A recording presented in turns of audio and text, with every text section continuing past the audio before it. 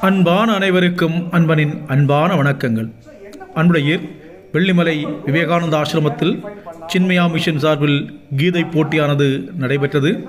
அதை ஒட்டி கீதை போட்டியில் வரும் குழந்தைகளின் பெற்றோருக்காக உறவுகள் மேம்பட என்ற நிகழ்ச்சி நடத்தப்பட்டது. கோவை சின்மயா மிஷனைச் சேர்ந்த பிரம்மச்சாரி விக்னேஷ் சைதன்யா இந்த நிகழ்ச்சியை நடத்தினார். இது இந்த பதிவில் நாம் பார்க்கலாம். லட்சுமணா வாலண்டியர் பண்றாரு. நானும் வரேன். உன்னால பிரிஞ்சு நான் இருக்க முடியாது. உடனே அவர் சொன்னாரு சரி எனக்கு தெரியாது. உன் வயசு கேட்டுக்கோ. ஊர்மிளாவை கேட்டு வராரு. ஆனா சீதையை பாத்தீங்கன்னா சீதை கிட்ட சொல்றாரு அம்மா நான் வந்து கல்யாணம் பண்ணும்போது உங்ககிட்ட ஒரு அந்த ப்ராமிஸ் எல்லாம் பண்ணியிருக்கிறேன். அந்த ப்ராமிஸ் இப்படி இது மாதிரி ஆயிடுச்சு சூழ்நிலை. அதனால நான் போறேன்னு சொன்னோன்னே உடனே என்ன பண்றாங்க சீதா? நானும் கூட வருவேன் உன்னே சொல்றாரு அம்மா நீ வந்து பெரிய ராணி நீ. ராணி மாதிரி வாழ்ந்துருக்கிற இந்த காட்டுக்குள்ளெல்லாம் போனா ரொம்ப கஷ்டம் உனக்கு. அங்க போனா அரக்கர்கள் இருப்பாங்க ராட்சசங்கள் இருப்பாங்க புல்லு மேடு இருக்கும் தூங்க முடியாது சாப்பாடு கிடைக்காது. உனக்கு தோழிகள் இருக்க மாட்டாங்க. எல்லாத்தையும் எக்ஸ்பிளைன் பண்றாரு. யாரு? பகவான் ராவர் ஆனா கடைசி யார் டிசைட் பண்ணா? யார் டிசைட் பண்ணா? டிசைட் பண்ணது சீதா மாதா. அப்போ எப்படி ராமர் தப்புன்னு சொல்ல முடியும்? சொல்லிட்டார் அவரு. இந்த மாதிரி சூழ்நிலை சொல்லிட்டாரு. அந்த டெசிஷனால என்னாச்சு? ராவணன் தூக்கிட்டு போயிட்டான். கரெக்டா அந்த டெசிஷனால தான் எல்லா விஷயங்களும் நடந்தது. ஒரு ஒரு விஷயம் ஆனா அவங்க தான் குற்றம் சொல்லல. அவங்களும் அந்த டெசிஷன்ல இருக்காங்க. நம்ம அவர் மட்டும் குற்றம் சொல்லக்கூடாது ராமரை மட்டும் குற்றம் சொல்லிட்டு கூடாது. ராமர் மட்டும் பண்ணாரு பண்ணாரு ஹஸ்பண்ட் ஆகலாரு ஆ. எல்லாம் வைஃப் என்ன கேட்டாங்களோ அதெல்லாம் பர்ஃபெக்டா செஞ்சாரு. என்ன செஞ்சாரு? சீதா மாதா கேட்கிறாங்க என்ன? எனக்கு காட்டுல கொஞ்ச நாள் இருக்கணும்னு ஆசையா இருக்குன்னு முன்னாடி சொல்லியிருக்கிறாங்க. சரி காட்டுல இருந்துக்கும் அண்ணனை நான் விட்டு வந்தார் அவங்க காட்டுல இருக்க ஆசைப்பட்டாங்க. அதே சமயத்துல வால்மீகி ஆசிரமத்தை கொண்டு போய் விடுன்னு சொல்றாரு. தனியா காட்டுக்குள்ள விட்டுறாங்க கொண்டு போய் விட்டுட்டு சோ என்ன தெரியுது? நிறைய பேருக்கு ராமர் வந்து சரியான ஹஸ்பண்ட் இல்ல. அப்படின்னு சொல்ல முடியும் ஆனா அவர் என்ன மாதிரி எடுத்த டெசிஷன் ராஜாவா எடுத்தார். புரியுதுங்களா நான் பேசுறது? சில சமயத்துல நம்ம சில டெசிஷன்ஸ் எடுக்கும் போது நான் என்ன ரோல் ப்ளே பண்றேங்கிறது தெரியாம இருந்தேன்னா கன்ஃபியூஷன் வரும்.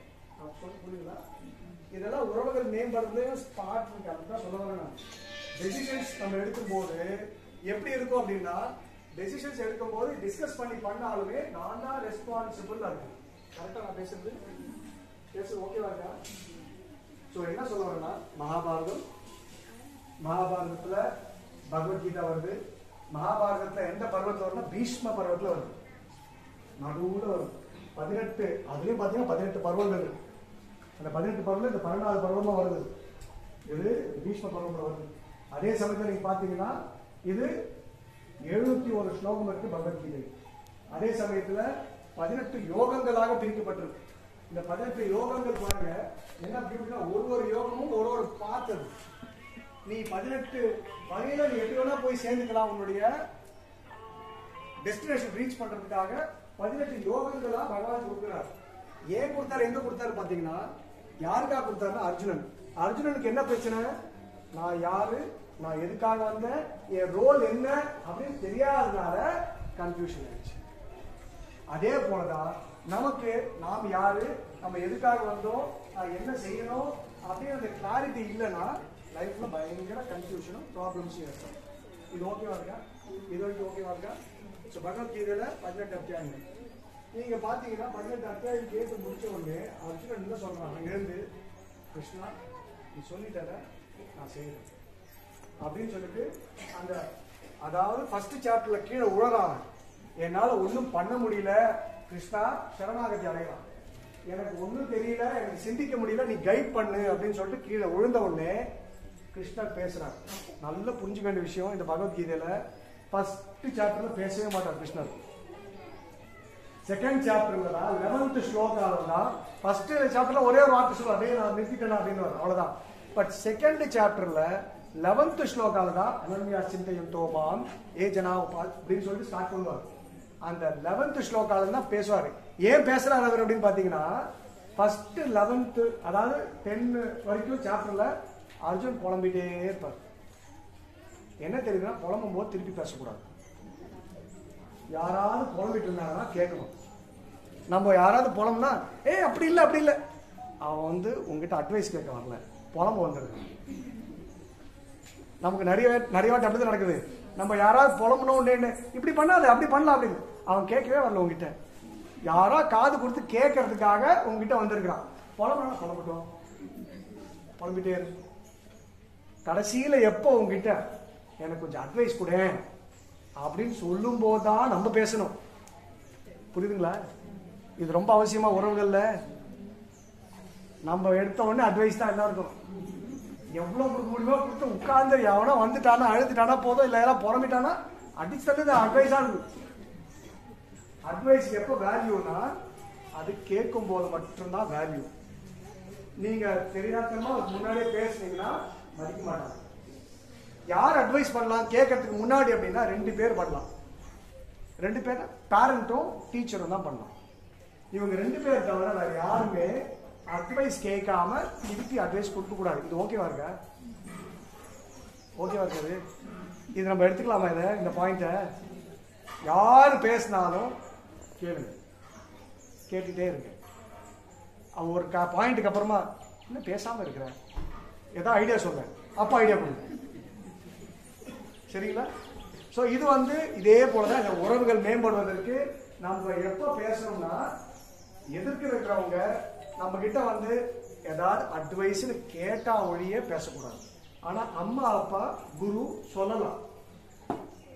சொல்றதுக்கு முன்னாடி ஏன் அவங்க கிட்ட சொல்லலாம்னு அவங்களுக்கு அந்த பவர் கொடுத்துருக்காங்கன்னா அதுபடி அவங்க வாழக்கூடிய அந்த தன்மை இருக்கிறதுனால அவங்க சொல்லலாம். ஏன்னா அவங்களுக்கு அந்த சூழ்நிலை புரியுங்கிறதுனால சொல்லலாம். அவங்க நலன் கருதி பேசுறதுனால சொல்லலாம். புரியுதுங்களா? ஏன் அவங்களுக்கு மட்டும் அந்த பவர் கொடுத்துருக்காங்கிறதுக்காக சரி இது ஒரு நினைச்சா இப்போ பகவத்கீதை கேட்ட உடனே அர்ஜுனன் என்ன ஆனா பாத்தீங்களா? அவனுக்கு தைரியம் வந்துச்சு போய் சண்டை போடுறான் ஜெயிக்கிறான். அப்ப என்ன தெரியுது? பகவத்கீதையில என்ன சொல்லப்பட்டிருக்குன்னா சோர்வடைந்த ஒரு மனசுக்கு ஏதோ ஒரு விஷயம் மோட்டிவேட் பண்ணதுனால தன்னுடைய ரோல் புரிஞ்சதுனால அந்த கான்பிடன்ஸ் அந்த சக்தி அந்த தெளிவு அவனுக்கு வந்திருக்கு அப்படின்னு புரியுது. எதை படிக்கும் போது எதை படிக்கும் போது பகவத்கீதை படிக்கிறதுனால என்ன ஏற்படும்னா சோர்வடைந்த மனதுக்கு தெளிவில்லாத ஒரு மனதுக்கு சக்தி இல்லாத ஒரு மனதுக்கு டைரக்ஷன் இல்லாத ஒரு மனதுக்கு இதுக்கெல்லாம் ஒரு சொல்யூஷன் கிடைக்கிறதுக்கு பகவத்கீதை. பட் நீங்க பாத்தீங்கன்னா பகவத்கீதை வந்து இப்ப புதுசா என்ன சொல்றாங்கன்னா டயபெட்டிஸ் வந்தாலும் பகவத்கீதை படிக்கிறான் டயபெட்டிஸ்க்கும் பகவத்கீதை என்ன சம்பந்தம்? அப்படி ஹார்ட் அட்டாக் வந்தாலும் பகவத்கீதை படிக்கிறான் இது நான் சொல்லல. Medical doctor allopathic doctor suggest பண்றாங்க என்ன ரீசன்காக அப்படின்னு பாத்தீங்கன்னா சரியான வாழ்க்கை முறை சொல்லப்பட்டிருக்கு. எது இருந்தாலும் சரியான வாழ்க்கை முறையில தான் இருக்கு. நம்ம வாழ்க்கை முறை சரியா இருக்கா அப்படின்னு செக் பண்ணி பார்க்கணும் நம்மளே. கரெக்டான டைம் எழுந்திருக்கிறோமா? கரெக்டான சாப்பாடு சாப்பிட்றோமா? கரெக்டாக உறங்குறோமா? கரெக்டாக நம்ம நம்மளுடைய தர்மம் செய்கிறோமா அப்படின்னு செக் பண்ணோம்னா அது செயல்படலை அப்படின்னா தான் பிரச்சனையே வருது. கரெக்டாக இல்லையா? சாப்பாடு ஒரு நாளைக்கு நல்ல வெயிட்டாக நம்மளுக்கு பிடிச்ச ரசம் பிரியாணி இருந்ததுன்னா ஒரு ரெண்டு கரண்ட் எக்ஸ்ட்ரா போகுதுல்ல நம்மளுக்கு பிடிச்ச விஷயம் எக்ஸ்ட்ரா செய்யறோம்ல. பிடிக்காத விஷயத்த ஒன்றுமே செய்யறது இல்லைல்ல ஆனால் நல்லதாக இருக்கலாம் நம்மளுக்கு. ஆனால் செய்யறது அந்த மாடரேஷன் இதுதான் சொல்றாங்க லைஃப்ல மாடரேஷன் இருந்தா லைஃப் நல்லா இருக்கும் அப்படின்னு. அப்படின்னு என்ன அர்த்தம்? ரெண்டு எக்ஸ்ட்ரீம் இருக்கக்கூடாது. துக்கமோ சுகமோ ரெண்டு எக்ஸ்ட்ரீம்ல போக கூடாது எல்லாம் மாடரேட்டா இருக்கும். சாப்பாடு மாடரேட் சாப்பாடு உட்பட சொல்றாரு பகவான் கிருஷ்ணர். என்ன மாதிரி சாப்பிடணும்? எப்படி சாப்பிடணும்? எங்க சாப்பிடணும்? தூங்குறது எப்படி? எல்லாமே சொல்றாரு பகவத்கீதையில. அதனால அந்த எழுநூறு ஸ்லோகத்துல பாத்தீங்கன்னா ஒரு சரியான வாழ்க்கை முறைய பகவான் சொல்றதுனால அது ரொம்ப அவசியம். ஏன் அப்படின்னா நான் ஸ்கூல்ல படிக்கும் போது எனக்கு ஏ ஃபார் ஏ ஃபார் இருபது வருஷமா அதே ஆப்பிள் தான் சொல்றாங்க. அது தவிர நம்மளுக்கு ஸ்கூல்ல மாத்தி சொல்லி கொடுக்கவே மாட்டேங்கிறாங்க. ஏ ஃபார்னமா அம்மா அப்பா ஆண்டவரே. யாரும் சொல்லி கொடுக்கல? இப்ப என்ன ஆகுதுன்னா நமக்கு காலங்காலமா ஒரு விஷயம் சொல்லி கொடுத்துட்டு இருக்கிறாங்க ஏ இந்த ஆல்பபட்ஸா இருக்கலாம் கணக்கா இருக்கலாம் அதெல்லாம் நம்மளோட வெளியில் வாழ்க்கைக்கு ரொம்ப அவசியம் தான் பட் ஆனா உள் வாழ்க்கைக்கு எது அவசியம்? அது இல்லையே. ஏன்னா வெளி வாழ்க்கை வாழணும்னா மனசு இந்த உள் மனசு நல்லா இருந்தா தானே? சந்தோஷமா இருந்தா தானே? அமைதியா இருந்தா வெளி வாழ்க்கையில எது இருந்தாலும் சந்தோஷமா இருக்க முடியும் செய்ய முடியும். ஸோ அந்த உள் வாழ்க்கைக்கு என்ன வேணுமோ அதெல்லாம் சொல்லி கொடுக்குறதுன்னா ஸ்கூல்ல நம்மளுடைய ஸ்கூல்ல பாட புத்தகத்துல இல்லை சோ ஆனா அந்த காலத்து குருகுலத்துல அப்படி இல்ல. அந்த கால குருகுலத்துல ரெண்டுமே சொல்லி கொடுத்தாங்க. இப்போ என்ன சொல்லி கொடுக்குறாங்க? வெறும் ஏ ஃபார் இதுதான் சொல்லி கொடுக்குறாங்க. ஒன்னு பிளஸ் ஒன்னு சொல்லி கொடுக்குறாங்க. ஃபோர்ஸ் எலக்ட்ரிசிட்டி வெலாசிட்டி சொல்லி கொடுக்குறாங்க. அதெல்லாம் நல்லது இதுதான் பார்த்தா மனசு சோகமா இருக்கும்போது என்ன சொன்னாலும் என்ன பண்ண முடியும்? பணம் எவ்வளவு இருந்தாலும் என்ன பண்ண முடியும்? பதவி எவ்வளவு இருந்தாலும் என்ன பண்ண முடியும்? ஒன்றும் பண்ண முடியல சோ அந்த மனசு தான் நம்மளுக்கு ரொம்ப அவசியமான விஷயம். அதை பத்தி சொல்றதுக்கு இல்லாதனால தான் இந்த மாதிரி சாஸ்திரங்கள் உருவானது. சோ பகவத்கீதை அப்படிங்கிறது உபனிஷத்தோட சாரம் வேதத்தோடைய சாரம். நமக்கு வாழ்க்கைக்கு அவசியமான ஒரு விஷயங்களை சொல்லப்பட்டிருக்கிறதுனால பகவத்கீதை ரொம்ப ரொம்ப அவசியமான ஒரு புத்தகம் எல்லாம் படிக்கிறதுக்காக. சாண்டிங் மட்டும் இல்ல சொல்லும் சொல்லும்போது உச்சரிப்பும் ரொம்ப ரொம்ப பவர்ஃபுல்லான உச்சரிப்பு இருக்கிறதுல. அதே சமயத்துல அந்த சொல்லப்பட்ட விஷயங்கள்லாம் நமக்கு சிந்திக்க ஆரம்பிச்சோம்னா அர்ஜுனன் என்ன கிடைச்சது அது நமக்கும் கிடைக்கும். அர்ஜுன் தைரியம் கிடைச்சது நமக்கும் கிடைக்கும். தெளிவு கிடைச்சது நமக்கும் கிடைக்கும். ஸோ அது ரொம்ப அவசியப்படுறதுனால பகவத்கீதை நம்ம படிக்கணும். சரிங்களா? இந்த பகவத்கீதை புரிஞ்சுங்களா இப்போ உங்க பசங்க எல்லாம் படிக்க சொன்னீங்க. யார் யாரு ப்ராமிஸ் பண்றீங்க? வீட்டுக்கு போய் நானும் என் குழந்தையோட சேர்ந்து பகவத்கீதை படிக்க போறேன். அந்த செகண்ட் சாப்டர் முடிஞ்சு போச்சு. நெக்ஸ்ட் காம்படிஷன்ல இங்க இருக்கக்கூடிய எல்லாருமே எஃப் கேட்டகரியில இருக்கணும். ஓகேவா இங்க வந்து யாரும் இருக்கக்கூடாது நீங்க ஏன் இங்க இருக்கீங்கன்னா பார்ட்டிசிபேட் பண்ணாதனால இருக்கீங்க. சோ இங்க யாருமே வரக்கூடாது. இங்க ஏன் வரணும்னா உறவுகள் மேம்பட தான் வந்திருக்கோம். நீங்க படிச்சீங்கன்னா இங்க வரணும் அவசியமே இல்லையா பகவத்கீதையை உறவுகள் மேம்படுறோம்ல நம்ம ஏன் ஹாஸ்பிட்டல் கட்டுறோம்? நோயாளி வரணும் கட்டுறோமா? நோயாளிகளை குணப்படுத்தணும் கட்டுறோமா? வரணும் கட்டுறோமா? டாக்டர் இருக்கீங்களா? ஹாஸ்பிட்டல் வச்சிருக்கீங்களா? இருந்தீங்கன்னா நான் எதுவும் சொல்ல வரல. கமெண்ட் பட் இருந்தாலும் எதுக்குன்னா பெரிய பெரிய ஹாஸ்பிட்டல் கட்டிக்கிறோம். அதுக்கப்புறமா அது கட்ட மெயின்டைன் பண்ண முடியல. சரி பக்கத்தில் ஒரு மெடிக்கல் ஷாப்பு பக்கத்தில் ஒரு ஸ்கேன் சென்டரு எல்லாம் எல்லாரும் சேர்த்து ஒரே இடத்துல இருக்க முடியல அது ஈஸியாக இருக்கும் வசதிகள்லாம். புரியுதுங்களா? So next year third chapter Karma Yoga. ரொம்ப ரொம்ப அற்புதமான ஒரு சப்ஜெக்ட் சொல்றாரு பகவான் கிருஷ்ணர். ஸோ அந்த கர்ம யோகத்தை அது புரிஞ்சுக்கிறதுக்கு முன்னாடி படிக்கணும் சாண்டிங் படிக்கலாமா? படிக்கலாமா? எத்தனை ஸ்லோகம் இருக்கு? ஒரு நாற்பது பிளஸ் ஸ்லோகம் இருக்கிறது நாற்பதாக எனக்கு மெமரி இல்லையே. எனக்கு ஸ்கூல்ல படிக்கும் போதே திருக்குறள்ல அந்த ஒன்றடி ரெண்டடியே படிக்க முடியல எனக்கு. என்ன வந்து இப்ப நாற்பது ஸ்லோகம் படிக்க சொன்னா எங்க படிக்கிறது நாங்க பசங்க படிக்கும் போது சேர்ந்து கூட படிச்சுக்கணும். அவ்வளவுதானே. இதெல்லாம் தான் ரொம்ப அவசியம். உறவுகள் மேம்படுறதுக்கு குழந்தைங்களோட சேர்ந்து ஏதாவது சில விஷயம் செய்யணும். அது செய்யும்போது இது படிச்சு வச்சுக்கலாம் நல்ல விஷயம் தானே ஸோ நெக்ஸ்ட் இயர் வந்து எஃப் குரூப்ல எல்லாம் நாங்க இருப்பீங்க கரெக்டா ஓகேவா மூணு பேர் தானே? செலக்ட் ஆகுங்க எல்லாரும் செலக்ட் ஆகணும். அது எப்படி? அந்த மாதிரி ஒரு இல்ல அட்லீஸ்ட் உங்க ஸ்கூல் லெவல்ல ஒன்றிய லெவல்ல இருக்கணும்ல. அங்க அங்க வந்தாலே பரவாயில்ல. இங்க வந்து கூட இல்லை. பட் இங்க உங்களுக்கு எல்லாருக்கும் சேர்ந்து சாண்டிங் பண்ணலாம்ல நம்ம. இந்த சேர் அப்புறம் பாலிசி பண்ணா கூட சாண்டிங் பண்ணலாம். சரி இது சொல்லப்பட்ட விஷயம். இந்த உறவுகள் மேம்படுறதுக்கு ஒரு அஞ்சு நிமிஷம் பேசுறேன் நான். அதுக்கப்புறம் அஞ்சுல ஒரு பத்து நிமிஷம். அதுக்கப்புறம் உங்களுக்கு கண்டிப்பா ஓகேங்களா உறவுகள். உறவுகள் அப்படின்னா அம்மா அப்பா குழந்தைகள். அவர் சொன்னார் வந்த முருகாசி நாங்கெல்லாம் உறவுக்கு தான் வந்திருக்கோம். உனக்கு என்ன உறவு நீ உறவோட வாழ்ந்துட்டு இருக்கிறியா அப்படின்னா எப்படி தெரியும் உங்களுக்கு உறவுகள்லாம் ஃபர்ஸ்ட் நானும் ஃபேமிலி தான் இருந்தேன். நானும் பிறந்தோட தொப்பு இதே ட்ரெஸ் போட்டு வந்துட்டேன். போயிட்டு ஆஃபீஸ்லலாம் வேலை பண்ணிட்டு சின்ன வயசுல ஒரு வருஷமா இருந்தேன் நான். சின்ன வயசுல சின்ன குழந்தைலேருந்து இருந்ததுனால அது சொன்ன ஒரு விஷயங்கள் அது நல்லா பிடிச்சிருந்தது அங்கே சேவை செய்யக்கூடிய மகாராஜாலாம் பார்க்கும்போது நமக்கு சுவாமிஜிஸ்லாம் பார்க்கும்போது நல்லா வாழ்ந்துட்டு இருக்கிறாங்க. இப்படி வாழ்க்கை வித்தியாசமா இருக்கு நல்ல வாழ்க்கையா இருக்குன்னு அப்படியே படிச்சு உள்ள வந்துட்டாங்க. ஸோ அதனால குடும்பம் இல்லை. நீங்க ஒரு மூணு பேர் நாலு பேர் வச்சிருக்கிறதே பிரச்சனை இல்லைங்க நாங்க வந்து ஆயிரம் பேர் வச்சிருக்கிறோமே அப்ப எவ்வளவு உறவுகள் இருக்கு எனக்கு? உங்களுக்கு உறவுகள் வந்து சொந்த பந்தம்லாம் பாத்தீங்கன்னா ரத்த வாச ரத்த பந்தத்துல இருக்கு. எனக்கு ரத்த பந்தம் இல்லாமே நிறைய பேர் பெரிய குடும்பம் இருக்கு. அவங்களோட நானும் வாழ்ந்துட்டு இருக்கேன்ல அதுவும் மேம்படணும்ல. உறவுகள் இருக்கு மேம்படணும் இருக்கு. ரெண்டு வார்த்தைகள் இருக்கு. உறவுகள் எல்லாருக்குமே இருக்கு. அது மேம்பட்டு இருக்கா? அப்படிங்கிறத நம்ம பார்க்கலாம் பிறக்கும் போதே உறவுகளோட தான் பிறக்கிறோம் அம்மா அப்பா அண்ணன் தங்கச்சி இவங்கள தான் பிறக்கிறோம் இந்த உறவுகள் இருக்கு. அது மேம்பட்டா எப்படி இருக்கும்? அதுதான் நம்ம பார்க்கணும். ஃபர்ஸ்ட் நம்ம இன்னொரு விஷயம் பார்க்கணும். உறவுகள்னு சொல்லும்போது நமக்கு குடும்பம் தான் நினைக்கணும். பட் குடும்பம் மட்டும் உறவுகள் இல்லை. நல்லா புரிஞ்சுக்கோங்க.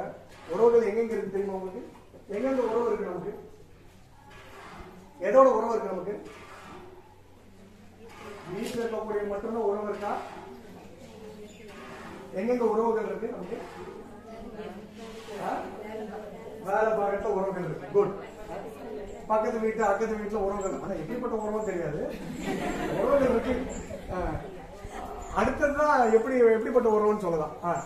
வேற அக்கத்து வீட்டு பக்கத்துல அப்புறமா வேலையில வேற? கோயில்ல உறவுகள் இருக்கு. நேச்சர் நேச்சரோட உறவு இருக்கு அப்புறமா. வேற எந்த உறவுகள் இருக்கு நமக்கு? படிக்கிற இடத்துல ஸ்கூல்ல எங்க எங்கெங்க நம்ம ரெகுலரா கம்யூனிகேட் பண்றோமோ அங்கெல்லாம் உறவுகள் இருக்கு. வேற? நம்ம உடம்போட உறவு இருக்கா? நம்ம உடம்பு கூட உறவு இருக்கா இல்லையா நமக்கு? இருக்கா இல்லையா? ஏதோ ஒரு சமயத்துல நம்ம திடீர்னு ஏதோ ஒண்ணு போன உடனே இறந்து போகுதுன்னு சொல்றாங்க. அப்ப இந்த உயிர் உடல் கூட உறவு இருக்கா? அந்த உறவு கரெக்டா இருக்கா? அங்கிருந்து ஆரம்பிக்குது. உயிர் உடலுடன் எப்படிப்பட்ட உறவு இருக்கு? உயிர் மனதுடன் எப்படிப்பட்ட உறவு இருக்கு? உயிர் புத்தியுடன் எப்படிப்பட்ட உணர்வு இருக்கு? உறவு இருக்கு. இதெல்லாம் உறவு சரியில்லைன்னா நம்ம பாடி நம்ம வாழ்க்கையே மோசமா இருக்கும். கரெக்டா இல்லையா? சப்போஸ் உறவு சரியில்லை வச்சுங்க என்னன்னா சாப்பிடும் உள்ள போட்டுட்டு வயிறுல அப்புறம் என்ன ஆகும்? மனசுக்கும் வயிறுக்கும் உறவு சரியில்லைன்னா என்ன ஆகும்? உடலுக்கும் மனசுக்கும் சப்போஸ் உறவு சரியில்லை என்ன ஆகும்? நான் சிந்திக்கிறது ஒண்ணு இருக்கு செயல்படுறது ஒண்ணு இருக்கு உறவு சரியில்லை என்ன ஆகும்? இந்த உறவை சேர்க்கறதுக்கு தான் யோகம்னு பேர். இந்த உறவுகளை ஒற்றுமைப்படுத்துதான் யோகம்னு சொல்லி பகவான் பதினெட்டு அத்தியாயம் கொடுக்கிறார். எங்கெங்க உறவுகள் மேம்படணுமோ அந்த அந்த மேம்பாட்டுக்கு வழி சொன்னதுதான் யோகம். சோ பகவான் கிருஷ்ணர் வந்து அந்த பதினெட்டு அத்தியாயத்தையும் உடலுக்கு உயிருக்கு உண்டான மேம்பாடு சொல்றாரு மனசுக்கு உண்டான உறவுகள் சொல்றாரு புத்திக்கு உண்டான உறவுகள் சொல்றாரு. ஸோ பகவத்கீதையை படிக்க ஆரம்பிக்கும் உங்க ஏரியாவில் யாராவது பகவத்கீதை எடுக்கிறாங்க கிளாஸ் யாரா எடுக்கிறதா கண்டிப்பா போய் பகவத்கீதை அட்டன் பண்ணுங்க. ரொம்ப அற்புதமான விஷயங்கள் சொல்லப்பட்டிருக்கு.